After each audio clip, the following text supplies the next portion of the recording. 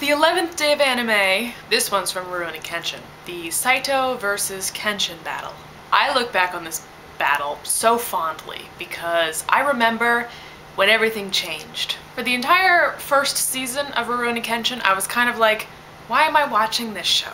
Then Saito walks in, and then he has his fight with Kenshin, and I was suddenly like, oh, this fight made everything so much more intense. It showed me that Rurouni Kenshin wasn't a mediocre series. It actually had a lot of really well crafted battle scenes and really cool characters like Saito. So not only did I really like the battle itself, but this fight sort of represents my turning point into actually liking Rurouni Kenshin. I was sort of sleepwalking through my reviews and they were only like seven minutes long.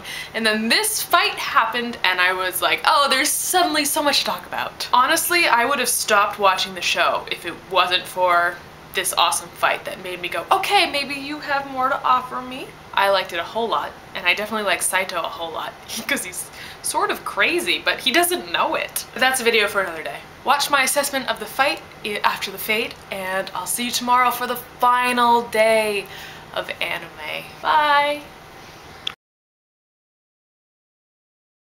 I want to make sure that the battle between Kenshin and Saito is recognized and acknowledged for the awesomeness that it really was. It was wicked cool. Saito really did appear to stand on the same level as Kenshin. Those minutes dedicated to that battle were some of the greatest minutes in Rurouni Kenshin so far.